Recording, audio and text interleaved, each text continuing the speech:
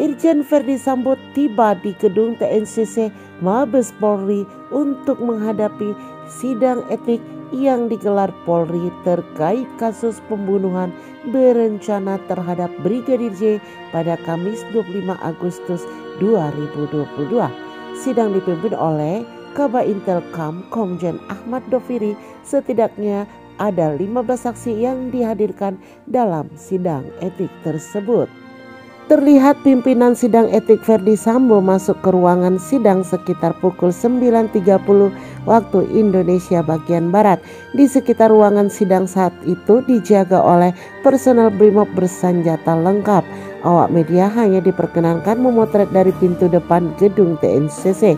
Sekitar pukul 9.40 waktu Indonesia bagian Barat, sidang etik resmi dimulai.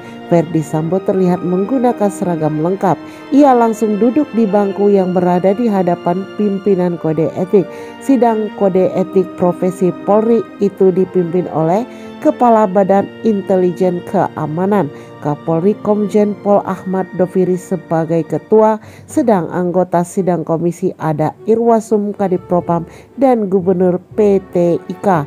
Saksi yang dihadirkan antara lain mantan Koropaminal Brigjen Hendra Kurniawan, mantan Karopos Brigjen Beni Ali, kemudian mantan Kapolres Jakarta Selatan Kombes Budi Herdi, mantan Kaden A Biro Paminal Kombes Agus Nupatria dan mantan Kabak Gakum Roprovos di Propam Kombes Susanto tersangka dalam pembunuhan Brigadir Nopriansa Yosua Huta Barat atau Brigadir J. Irjen Verdi Sambo Kamis 25 Agustus 2022 hari ini bakal menjalani sidang etik profesi. Kadip Humas Polri Irjen Dedi Prasetyo menyebut Ferdi Sambo bakal langsung difonis hari ini juga. Ya, vonis Ferdi Sambo akan ditentukan hari ini juga. Kata Dedi kepada wartawan di TNCC Mabes Polri Jakarta Kamis 25 Agustus 2022.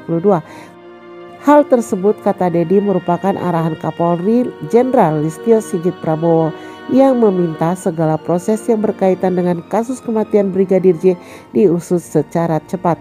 Karena sesuai dengan perintah Pak Kapolri, semuanya berjalan dengan secara paralel dan harus cepat, kata Dedi.